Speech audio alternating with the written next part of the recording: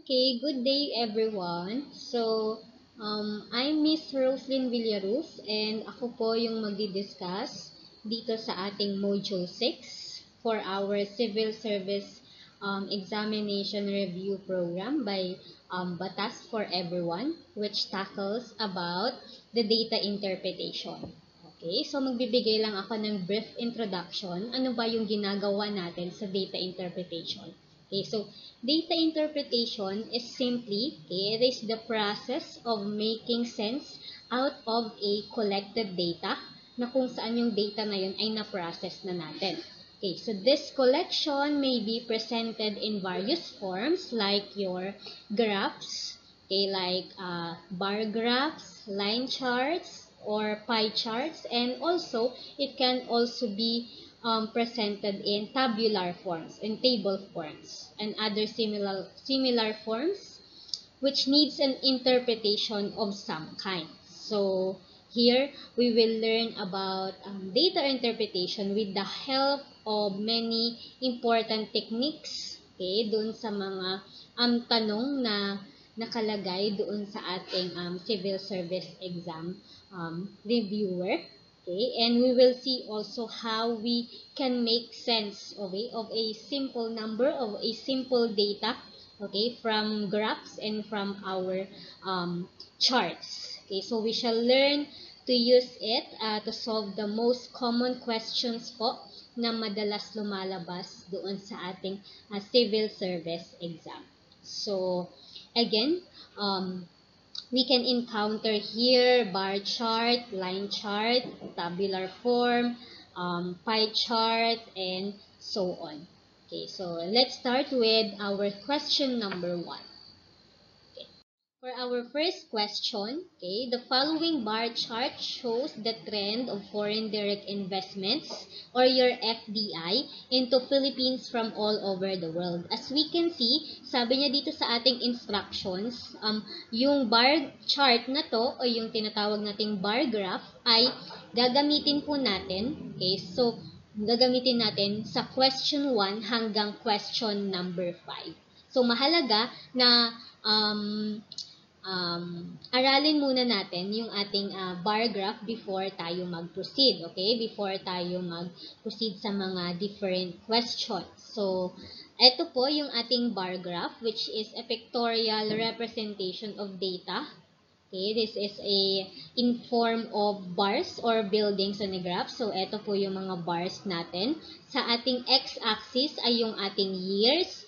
Sa ating y-axis ay yun po yung ating FDI in million pesos. Okay, so ito yung trend. Okay, ito yung ating aaralin at um, yung questions na 1 to 5 ay um, tungkol po dito sa bar chart nito. Okay, so for question number 1, the question is, what was the ratio of investment in 1997 over the investment in 1992? Okay, so kapag ganito yung tanong, okay, ang hinahanap lang natin is, um, ano nga ba yung um, na figure natin sa 1997 as a factor of 1992 investment. So, first, hanapin natin yung value ni 1997. So, for my 1997, I have 31.36. Okay, let's use the pen. Okay. For my 1996,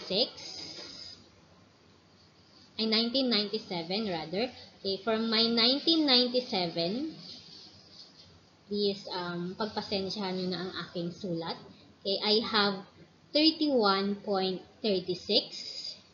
And for my 1992, okay, hinahanap lamang po niya yung ratio okay, ratio ng ating investment from 1997 at saka 1992. So, therefore, ang gagawin lamang po natin dito ay ipag-divide lang po natin yung ating um, investment okay, from 1997 at 1992. So, yung ating 1992, kung makikita nyo dito sa ating graph, ay yan po ay 5.7. Okay, that is 5.7. Okay, so that would be, okay, the ratio will be equal to, okay, 31.36 over 5.7. The ratio will be equal to 5.50. Okay, so this would be our answer for your question number 1. At hanapin natin yung 5.50 doon sa ating um, doon sa ating choices. So, ito yung mga choices. So, as you can see, meron tayong letter A, 5.50. Therefore, this is our correct answer. Okay. So, yan po yung um, solution kung paano natin sagutin si question number 1. Okay? Okay, for number 2, the question is, what is the absolute difference in the FDI or your foreign direct investment of Philippines in between 1996 and 1997? So this is a very simple question. We just, um, to get the correct answer, we just subtract po yung ating um, foreign direct investment sa 1997 at saka 1996. So, ang gagawin po natin ay First, identify muna natin kung ano yung ating 1997 FDI at 1996. For our 1997, ang ating FDI ay 31.36. For our 1996, I have 24.23. Okay, so again, simply, we just subtract po. So, I have here my 1997 which is equal to 31.36 and my 1996 which is equal to 24.23 I will just simply subtract them to get the correct answer. So that is 31.36 minus 24.23 I will have 7 point okay that will be 7.13 So, the answer po, okay, kung ano yung absolute difference, okay, yung difference nung ating FDI ni 1997 at saka 1996 ay 7.13. So, the answer will be letter B. Okay? For our question number 3, For all the years mentioned, so I have 1992 hanggang 1997, what is the average okay, of the FDI? Okay, so ang hahanapin po natin ay yung mean or yung ating um, average. So ang formula po for average is the sum of all our entries divided po divided by the number of the entries po na meron tayo. So, in this um, question, ipag-add ko lamang po yung FDI natin for each year and then i-divide natin siya sa 6 dahil po meron tayong 6 na taon. Okay, so I have here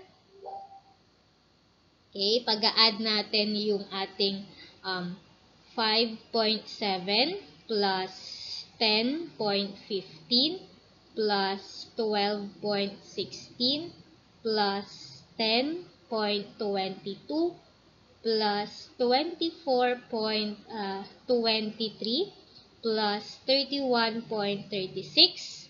Okay? Kunin natin yung sum. And then, we will divide it by 6. Okay? So, pag ipinag-add natin yan, okay, gamit tayo ng calculator, add natin. Pero sa um, uh, uh, mismong exam, hindi po tayo pwedeng makagamit ng calculator. So, uh, i-compute po natin siya manually.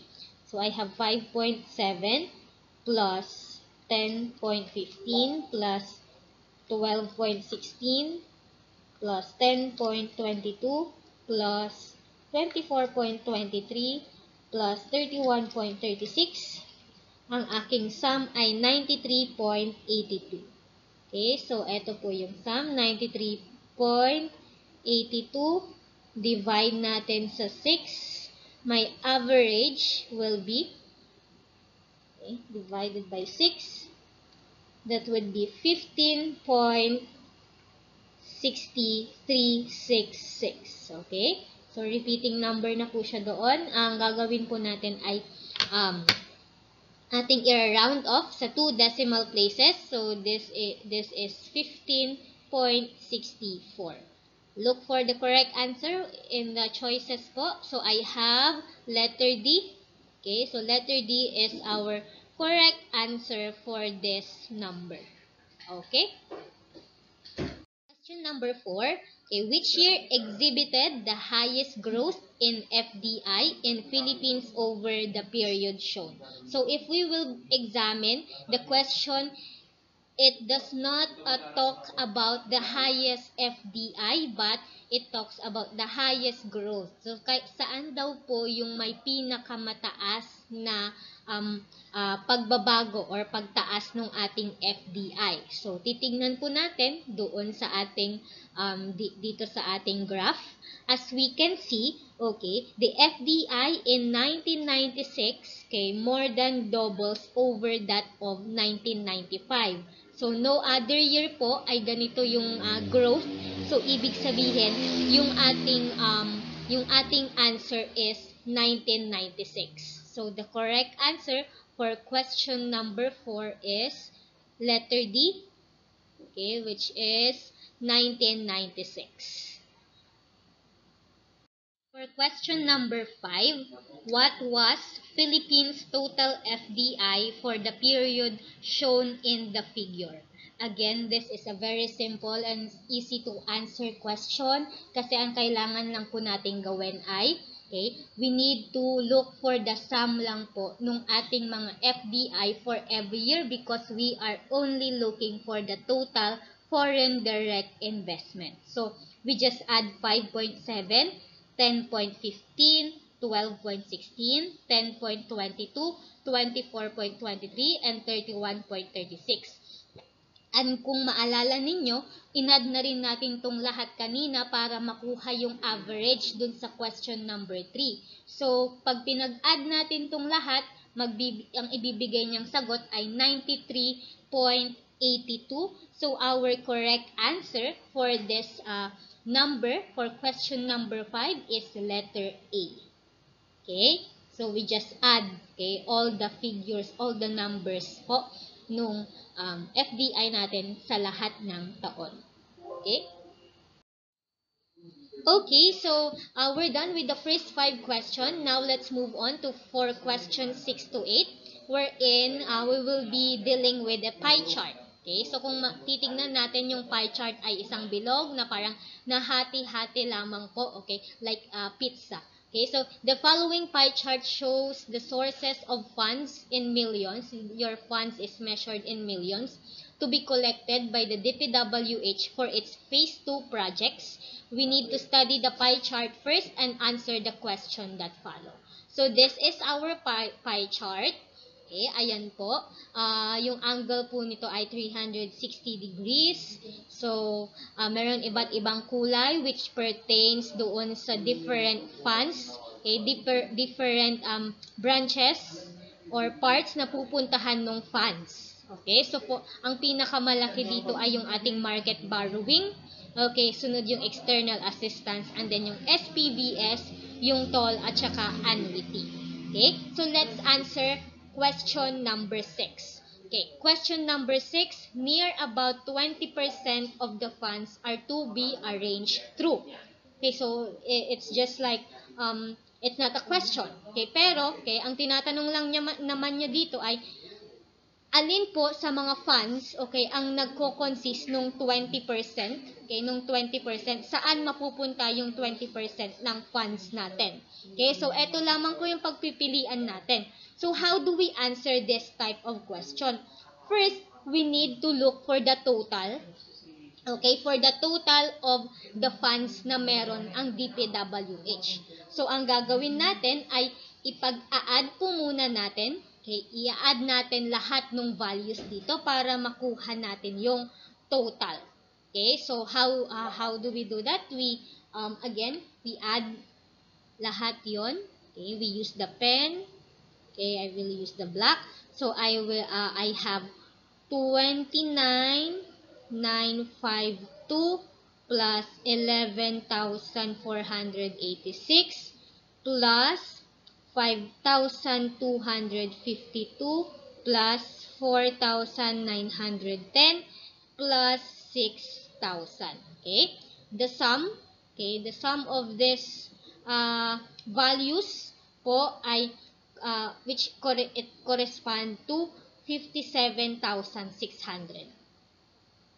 Okay, so this is the total, okay, nung funds po na meron si DPWH. Now, hahanapin daw po natin yung saan ba, okay, saan ba ilalagay yung 20% ng funds.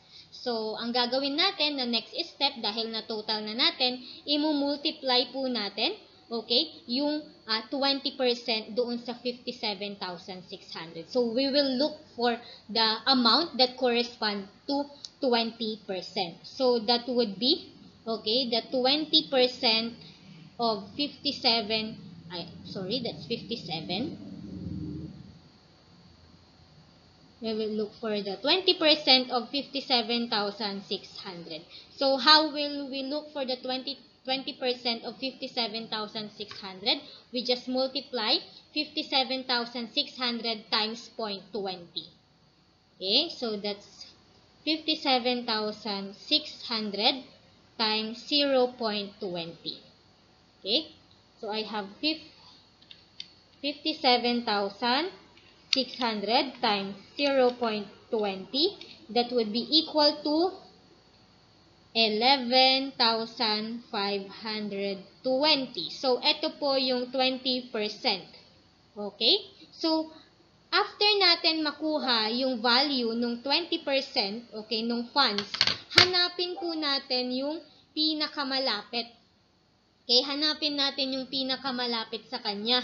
Okay, so kung makikita natin dito sa ating um, values, okay, ang pinakamalapit po ay yung yung ating amount na pertaining to external assistance. So that is 11,486, okay? It is the nearest.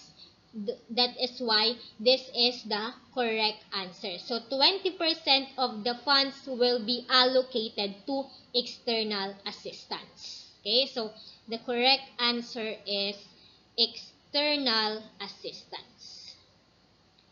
Okay, so next question, question number 7. Okay, if DPWH could receive okay, a total of 9,695 uh, pesos, this is in millions, as external assistance, by what percent approximately should it increase the market borrowing to arrange for the shortage of funds? Okay? So, um, ang gagawin natin, kukunin muna natin yung ating shortage of funds arranged through external assistance. So, that would be, okay, yung ating external assistance ay 11. Okay. So, our external assistance, hanapin muna natin yung ating shortage. Yan. Let's, um, let, let S will be your shortage. So, that is equal to, okay, external assistance, 11,000. Okay, 486. Magkano daw po yung natanggap? Okay, that is 9,695. Okay, we get the difference. Ang difference po niyan ay 1,791. Okay, so this is the shortage po Okay? Doon sa external assistance. Okay, so magkano yung i-increase natin? Okay, increase natin required in market borrowing. This is the required, okay, na ating i-increase doon sa market borrowing. That is 1,791. Okay. Is this the final answer? No. We need, okay, we need to multiply, okay, we need to um, get the percentage. Okay, we need to get the percentage increase required. So, kailangan natin i-convert sa percentage. So, ang ating magiging formula, okay, that is the percentage to increase, okay, the shortage of funds. that will be 1,791 over, okay, ano yung ating market borrowing? That would be 29,952 multiplied by 100 so that we will get a percentage. Okay, dito yung ating unit ay percentage.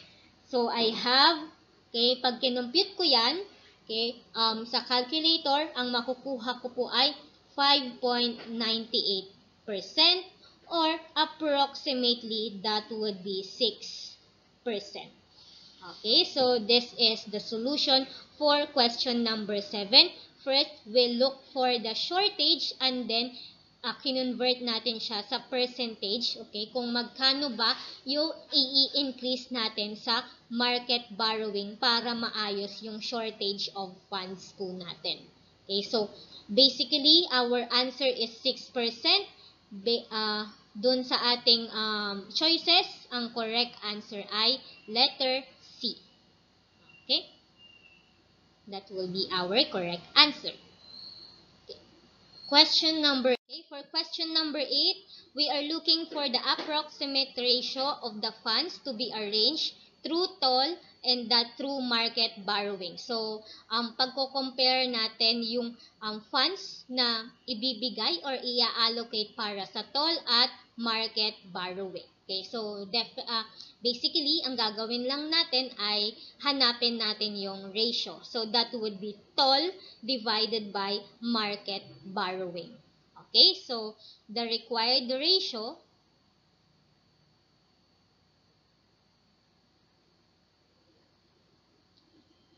the required ratio is equal to your um, toll okay, divided by your market borrowing.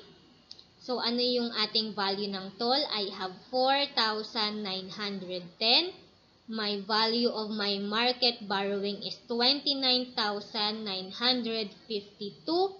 and that would give me a ratio of 1 over 6.1. Okay, dinivide ko lang po siya. 29,952 divided by 4,910. Okay, you can uh, compute that manually or sa calculator. Pero again, sabi ko nga, in civil service exam, you cannot use calculator. So, you will do it manually. Okay, so my ratio is 1 is to 6. Okay, hanapin natin sa choices. My correct answer is letter B. Okay?